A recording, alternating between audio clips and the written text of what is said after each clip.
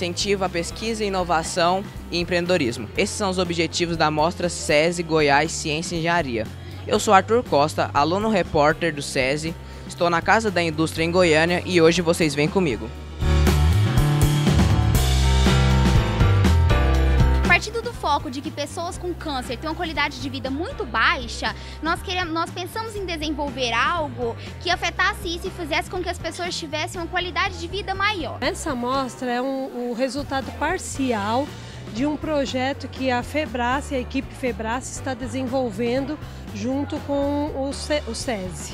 Né? Esse projeto é um projeto de formação de professores e auxílio em, em mostra, tanto estadual quanto nacional, para desenvolvimento de projetos científicos. O nosso projeto ele irá conter sensores ultrassônicos para identificar objetos que estarão ao redor do deficiente visual para que ele saiba que tem um objeto ali e ele não se machucar, não se ferir, não colidir com aquele objeto. Nosso projeto ele consiste em retirar matéria orgânica, o soro lácteo, que vem da produção das queijarias em geral, e fazer e transformar em cosméticos, transformando em sabonete líquido e máscara capilar. Das 16 equipes participantes daqui de Goiás, três serão, serão selecionadas para o Nacional, não é isso mesmo, Liliane? É isso mesmo. Nós teremos aqui classificados três times não será primeiro, segundo e terceiro lugar, e sim os três melhores que estarão participando em Brasília em novembro da Mostra Nacional, que acontecerá na Olimpíada do Conhecimento em Brasília. A Mariana, diretora de SESI Crixás, estava me contando como esse projeto mudou a vida dos alunos, não é mesmo?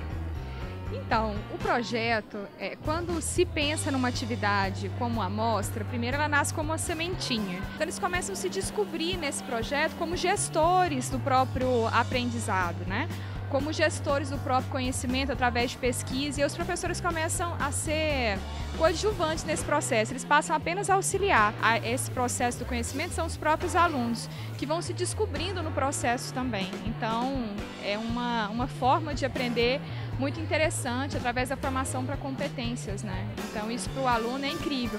Todos que estão participando dessa mostra, eles são ganhadores, porque o conhecimento e a prática ninguém vai tirar. E a Mariana me disse que todos são ganhadores. O que vocês acham que vocês ganharam? O aprendizado com esse projeto. Isso, a gente aprendeu como aplicar esse projeto dentro da nossa casa mesmo e repassar para as outras pessoas também.